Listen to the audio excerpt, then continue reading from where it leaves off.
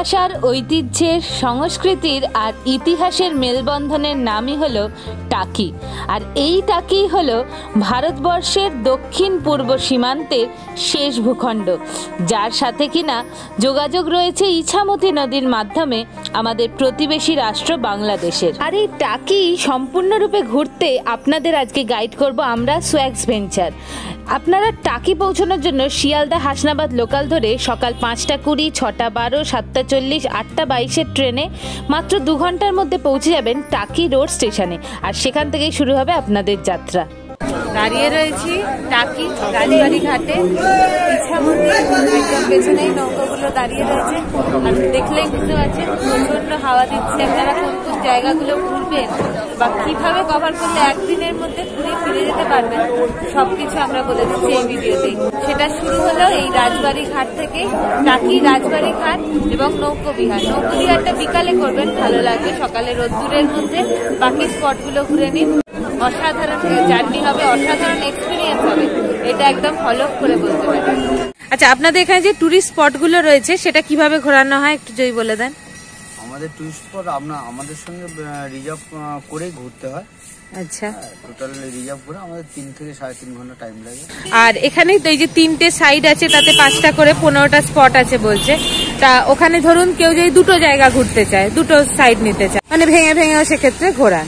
মোটামুটি পনেরোটা স্পট রয়েছে আর তিন সাড়ে তিন ঘণ্টা সময় লাগে। সকালটা বেস্ট বলছেন তাই তো বেরোনোর জন্য? এই হচ্ছে না টোটো। দেখিয়ে দিই দুই দুই চার একজন পাঁচজন নেবেন তাই তো? এখানে গাড়ি নিয়ে ঘোরা যাবে না। গাড়ি এখানে পার্ক করে দিয়েছি। চলুন দেখতে থাকুন আমাদের সাথে।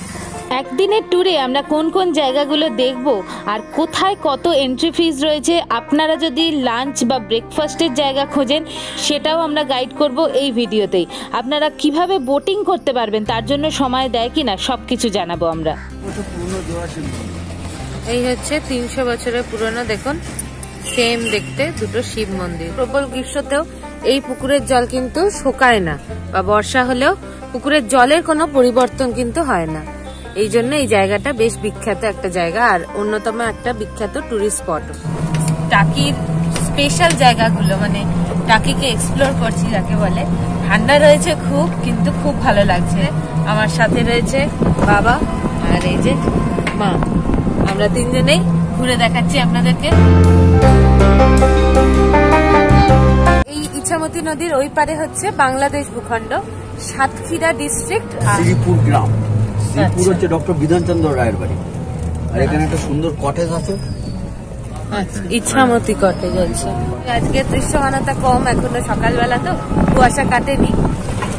এই বাড়িতে নগর কীর্তন বই শুটিং হয়েছে এই বাড়িতে গয়নার বাস্ক শুরু হয়েছে। কঙ্কনা সেনের যে গয়নার বাস্ক হ্যাঁ হ্যাঁ হ্যাঁ। ওই আটটা আটের বনগা লোকাল তাপস পালের ওই সিনেমার শুটিংটা হয়েছে এই বাড়িতে।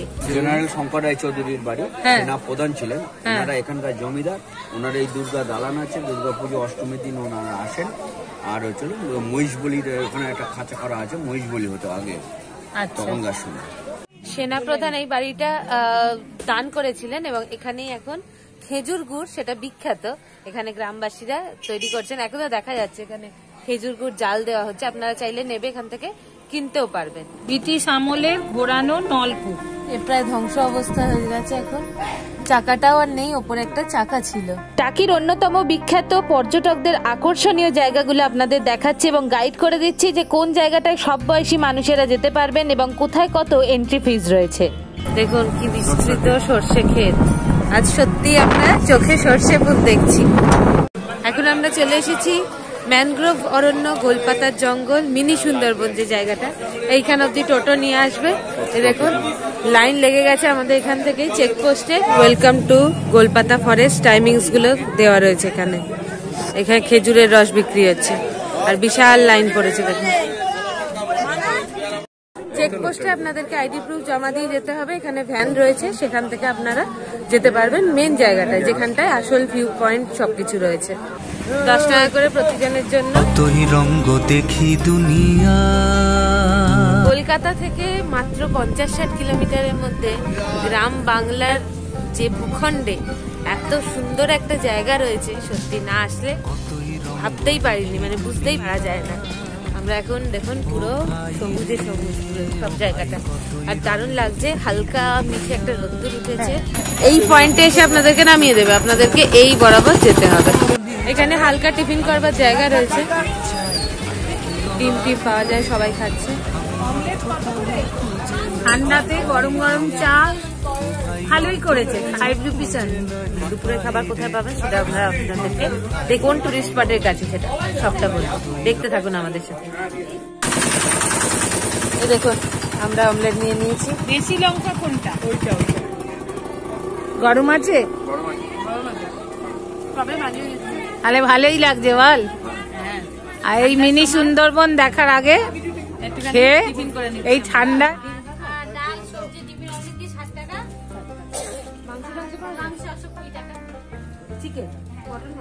আবার এখন কি পুরি কচুরি এসব কিছু? হ্যাঁ।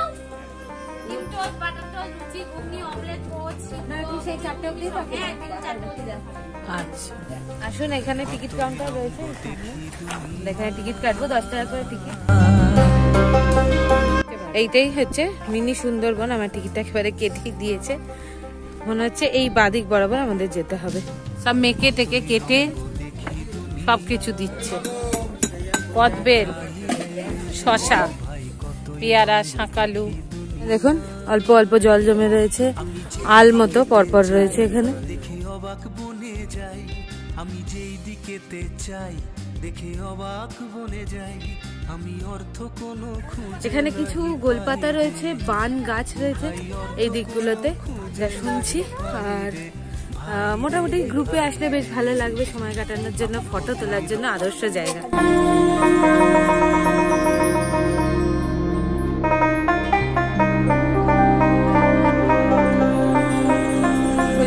বরাবর হেঁটে গেলে ওইখানে রয়েছে ভিউ পয়েন্ট আর চারিদিকে আপনারা বিভিন্ন গাছ দেখতে পাবেন। যেমন এই যে দেখুন বোর্ড লাগানো রয়েছে। আপনাদের গাইডও লাগবে না, কোনো গাইড আনতে হবে না। আপনারা এখানে এলে সব জায়গায় লেখা লেখা রয়েছে। সেগুলো দেখে বুঝতে পেরে যাবেন যে কি গাছ কোথায়, কি রয়েছে। দেখুন এখানে একটা ছাউনি মতো করা রয়েছে। আপনারা চাইলে একটুখানি বসিয়ে বসে নিতে পারেন। কিছু খেলে ডাস্টবিন রয়েছে। এইটা হচ্ছে দেখুন অ্যারো দেওয়া রয়েছে রিভার সাইড এইটা হচ্ছে টাওয়ার সাইড আর এখানে একটা ওয়াশরুম রয়েছে। এই যে। ও ভাই রে ও ভাই কতই রঙ্গ দেখি রিভার সাইড মানে ইছামতি নদীর ভিউ পয়েন্ট জানি না আজকের দৃশ্যমানতা কতটা হবে। তবে খালি চোখে দেখা যাচ্ছে। চলুন ওই সামনেটা অব্দি এগিয়ে নিয়ে গিয়ে আপনাদের দেখাচ্ছি। হচ্ছে ভারত ভূখণ্ড আর ওইটা হচ্ছে বাংলাদেশ। এখানটা বেশ সরু দেখুন ওপাশটা পুরো দেখা যাচ্ছে। আর এই হচ্ছে সম্পূর্ণ জঙ্গল। যেই দিকেতে চাই দেখে অবাক বনে যাই। আমি অর্থ কোনো খুঁজে নাহি পাই রে। রিস্কি ভাবে নেমে গেছে। এইখানটা মনে হয় জলও আসে। কীভাবে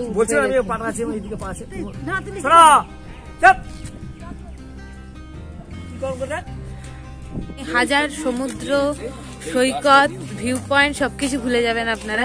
যদি এই জায়গাটা একবার আসে সুন্দরবনের সমস্ত মানে সুন্দরবনেই চলে এসছে এরকম মনে হবে। জলগুলোর দাম কত? কচি দেবেন। মানে শ্বাস হবে না তো? বাহ মিষ্টি রয়েছে। ভারী ভালো লাগছে। বসেও পড়া যায়। প্রকৃতি তো কোনো অসুবিধে নেই। একটু মাটি আছে কোনো অসুবিধা নেই। গ্রাম বাংলা যাবে দারুণ লাগবে।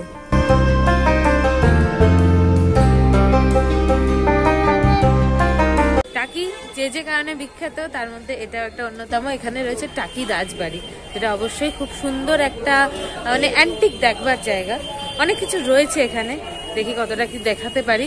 কামান থেকে শুরু করে কিছু অ্যান্টিক কালেকশন দুর্গা দালান, সবকিছু রয়েছে। বলি দেওয়ার জায়গা। পুরো জায়গাটা ঘুরতে পারেন। ছোট একটা মিনি বাগান।